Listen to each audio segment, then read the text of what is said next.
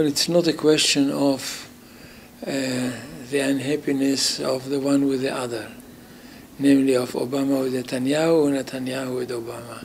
The question is um, the existence of the State of Israel, the security of the State of Israel. And there is no question that Iran is uh, after the, the uh, creation of uh, an atom, atom bomb one or two, and it is uh, after creating an atom bomb easily that can easily be achieved um, with uh, the enrichment of uranium. That's the easiest way of creating an atom bomb. There is no question about that. That once once the agreement is is uh, is reached, uh, Iran will not keep it Iran will not keep it, even if, I mean, even the agreement as it is, which is basically uh, in favor, in many ways, of Iran, favors Iran, um, uh, even this one will not be kept. Bit by bit, the Iranians will, uh, will, will, uh, uh, will, will change it, will, will do things which um, would not be seen very quickly that they are doing in order to, uh, to uh, negate the agreement to abolish it. But at the end of the story, the Iranians are the masters and not the Americans and not anybody else. Besides the fact that uh, Europe is not behind the Americans, Europe is waiting for the moment to make business with Iran. So it's not a question of, of Netanyahu and, and, uh, and Obama. On the other hand, uh, Mr. Obama the, the President of the United States has put all his prestige on the scale, so he cannot he cannot back back up, and uh, and he would like to reach reach an agreement.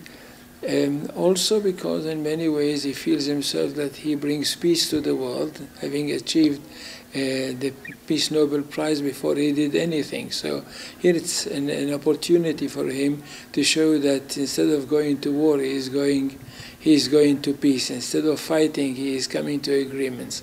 So there are there are personal sides to it, but the most important thing is the danger. Uh, the danger of the possibility, of the great possibility that Iran could achieve an atomic power uh, for, uh, for military use, and this is the first and foremost a danger to the state of Israel, to its existence. So it's not a mere coincidence that the prime minister is so adamant to, to do anything possible in order to stop this agreement, which he will not succeed to do. It's clear that if the question is the President of the United States and his prestige and uh, and uh, Mr. Benjamin Netanyahu, the President of the United States, comes first as far as the Americans are concerned.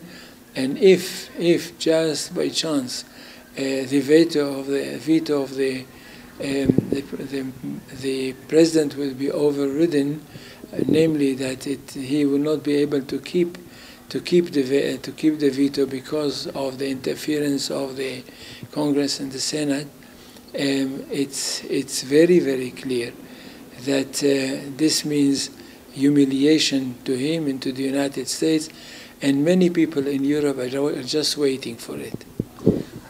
Professor Sharon, you're talking a lot of the dangers of this deal.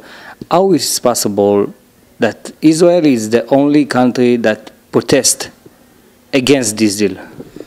Because the other, the other countries are interested in business mostly in business. They are interested at the time, they are wait, they're waiting for the time in which they will be able to, um, to resume um, the economic relations with Iran, which is a big state, and basically, basically could, could, could afford to the Europeans, mainly to the Europeans, good markets and uh, other things which uh, economically are beneficial to the Europeans, and why not?